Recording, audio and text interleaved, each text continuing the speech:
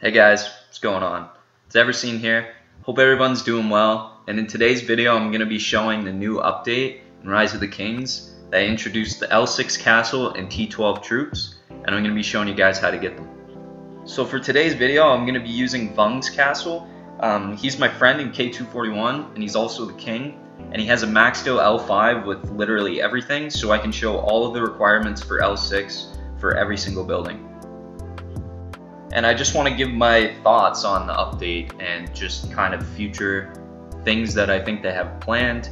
Um, as you can see in the pictures here, I'll show you the L6 wall. So you can upgrade to an L6 wall, which makes me think that L7 is going to come and so on and so forth. Uh, we don't know when, hopefully years to come because this already took two years to release anyway. But I know that they have it planned, so if you're gonna continue playing this game, you gotta keep that in the back of your mind. Um, I really think that this update only catered to L5 players and that's it.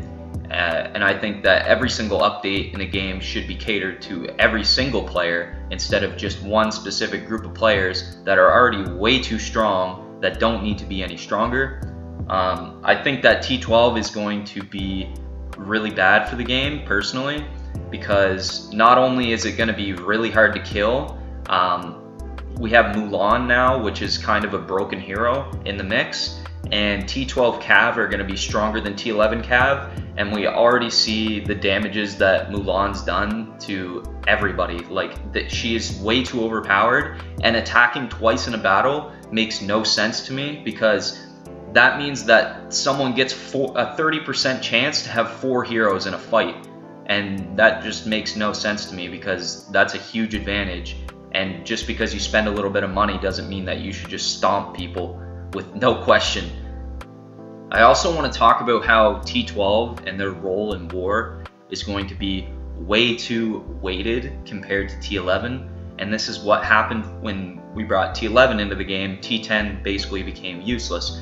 And I don't think that T11 will become useless, but I think that T12 will become too strong, uh, especially when holding buildings alone. Uh, just like, you know, if someone fills a throne with all, uh, say, 2.5 million T12 cavalry with Mulan, that is clearly broken, and you will never beat that. Especially, even if you have a full rally of L6 troops, you're probably not going to beat it. And when somebody has 800% statistics with an all T12 throne, that's ridiculous to me. And the other thing that's ridiculous is that this can be bought by the biggest players in only 10 days.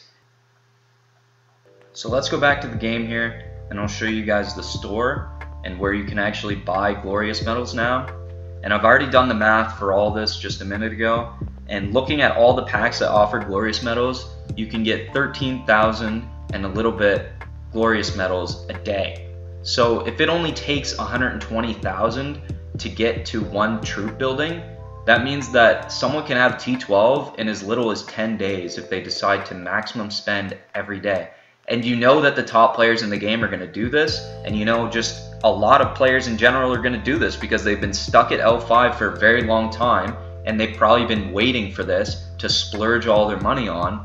And now you're going to have people walking around with completely broken tier of troops in as little as 10 days. That to me is where the game starts to get more catered towards pay to win people. And of course, I knew it was going to happen. I just didn't think it was going to happen this quick.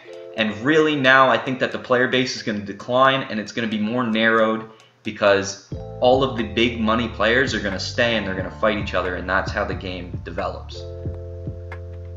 So now you can actually see that if you go to the medal exchange, there's now a section to do glorious medals, and this is only for L5 players, of course.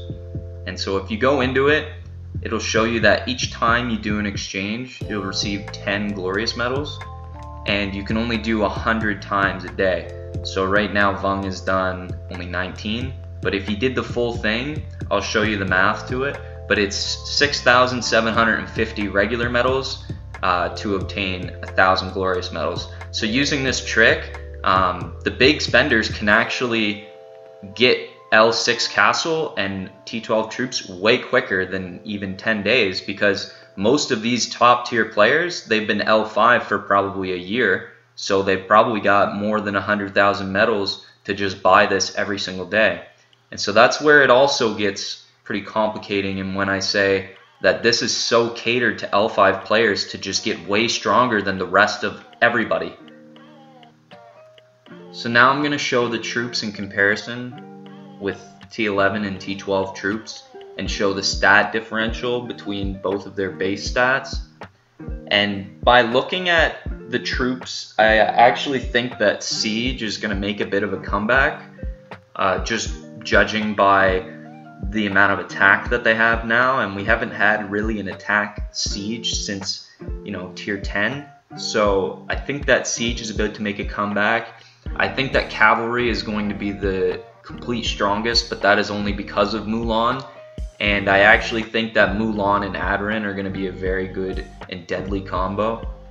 And I think for infantry, it's really not for attack, it's more for defending your other troops. So I think infantry is going to be used less in attack now. And I really think that it's going to be more focused on archers, cavalry, and siege, and using uh, T12 infantry to protect your other troops. And I think that archers are still in a good spot. They've been in a good spot.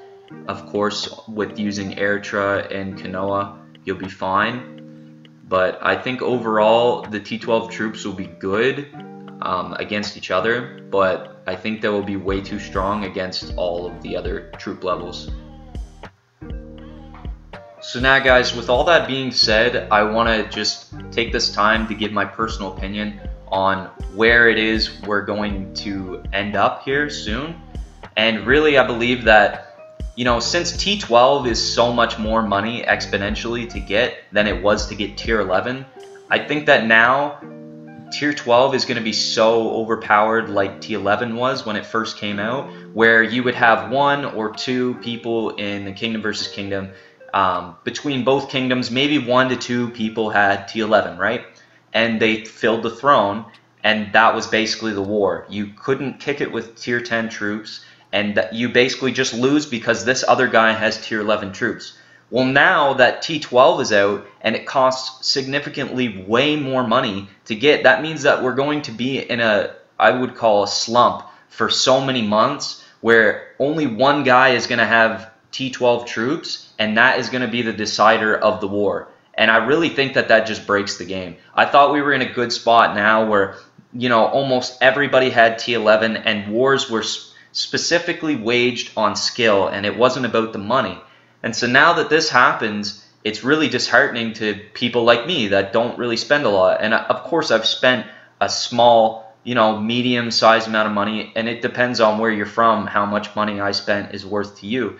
But I spent a lot of money, in my opinion, on this game, and I'm nowhere near these top people. And unless you know, us smaller guys get more offerings to like get these glorious medals and stuff. I really see like us just getting shafted and these L5 players just getting way stronger and just completely breaking the game by, you know, being able to just fill a throne with T12 troops and that is the end of the war. And that's what I don't really like, but it's not really time to jump ship yet. We'll just see how this progresses. Um, I really don't even know what it'll be like in combat yet.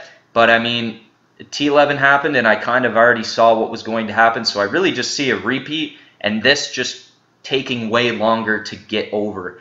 Um, but anyway, I hope you guys enjoyed the video, and you know, you learned a little bit about how to get the troops and stuff. Um, it really only applied to L5 players, so that kind of sucks. But my L5 watchers, you know, you can you can enjoy the information. But uh, hope you guys enjoyed. Like and subscribe, and uh, I'll catch you guys in the next video.